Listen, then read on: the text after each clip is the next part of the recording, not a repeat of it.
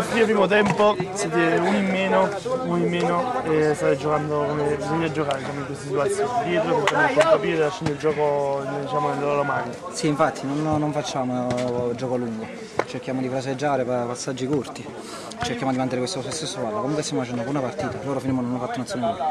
Cioè abbiamo preso un palo, abbiamo fatto un paio di tiri a porta, però purtroppo siamo in deficit stasera, quindi cerchiamo di fare quello che possiamo. Al lupo per il secondo tempo. Grazie.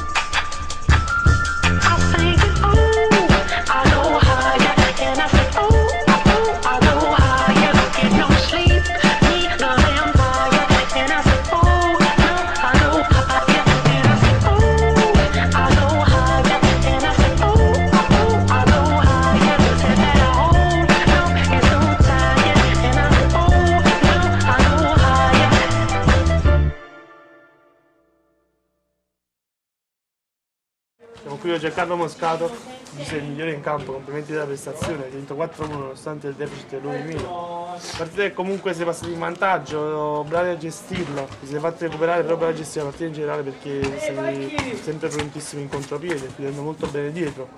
Ottimi i vostri contropiedi, qualcuno si poteva aspettare anche meglio. Maronnami! Come giudichi la prestazione? Eh, stasera siamo venuti con la testa sgombra, eravamo anche uno in meno.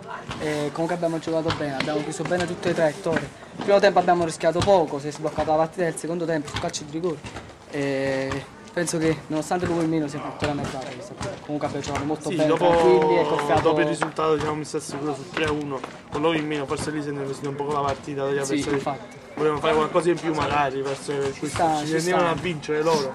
Poi con un uomo in meno comunque siete stati anche, magari avete avuto anche quella, quel pizzico di fortuna in più perché loro comunque hanno avuto il possesso palla, il gioco in mano, però non riuscendo a concretizzare quasi mai. Sì, sono stati poco lucidi, poi comunque le occasioni le hanno avute. Poi la partita si è incattivita, però comunque succede perché l'agonismo è questo e comunque è stata una bella partita. Faccio i complimenti per la loro partita e anche ai miei ragazzi che comunque sono venuti qui. Nonostante il gap in mezzo al campo, però comunque abbiamo fatto una buona gara. Complimenti alla prestazione e molto.